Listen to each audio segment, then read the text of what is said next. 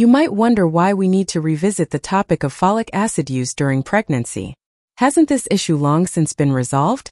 You might ask.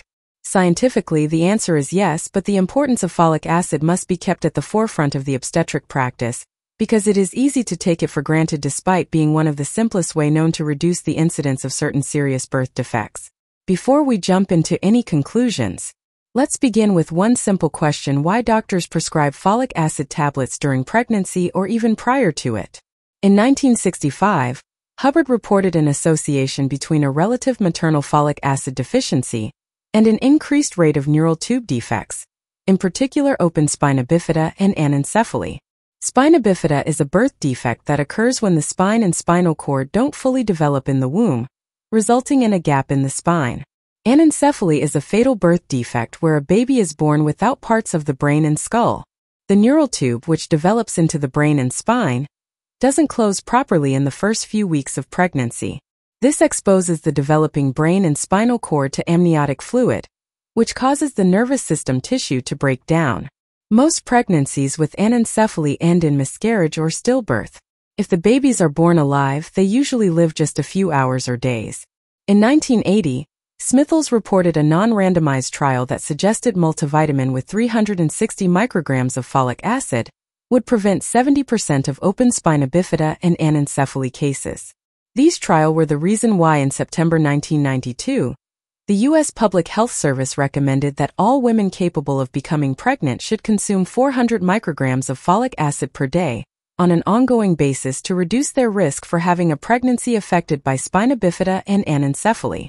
According to a study of Swedish women by researchers at the Karolinska Institute, Pregnant women who have low blood levels of the vitamin folate are more likely to have early miscarriages than are pregnant women who have adequate folate levels, so it suggests that folic acid may reduce the risk of stillbirth. Other complications of low folic acid levels during pregnancy include placenta abruption and severe language deficits in the offspring. Now that we know why it is recommended to use folic acid during pregnancy by many obstetricians, Let's have a look at the recommended form and dosage of folic acid during pregnancy. The primary form of folic acid recommended for pregnant women is synthetic folic acid, typically found in prenatal vitamins and fortified foods. While naturally occurring folate from food sources like leafy greens, beans, and citrus is beneficial, the synthetic form is more concentrated and effective in increasing and maintaining adequate folate levels in the blood. Debate continues about whether a balanced diet provides sufficient folic acid. Although eating a good diet is encouraged, the randomized trials showing that folic acid prevents spina bifida include women who took a folic acid supplement pill in addition to eating their usual diet. The most common recommendation is to take 400 micrograms of folic acid daily before conception and during the early stages of pregnancy. Some healthcare providers may recommend higher doses in special circumstances such as for women with a history of neural tube defects or certain medical conditions.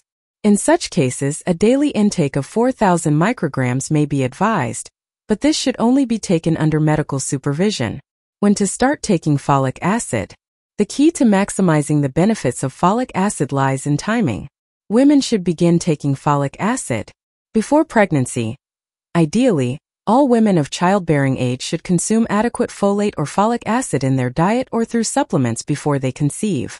Since many pregnancies are unplanned, starting folic acid three months prior to conception is recommended.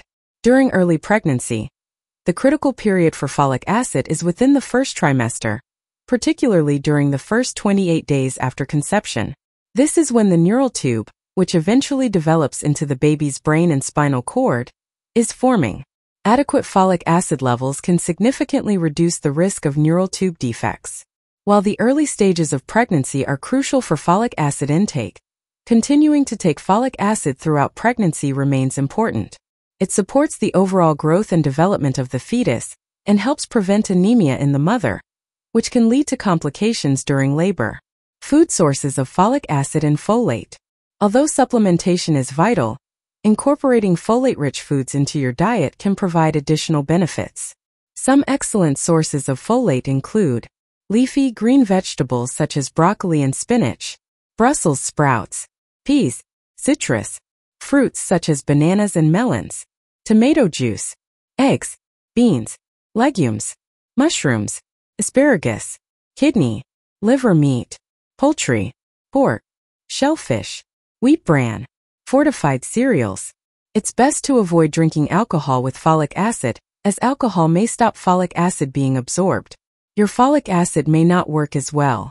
It's safer not to drink any alcohol if you're pregnant or trying to get pregnant, because it can damage your baby's growth. Excessive consumption.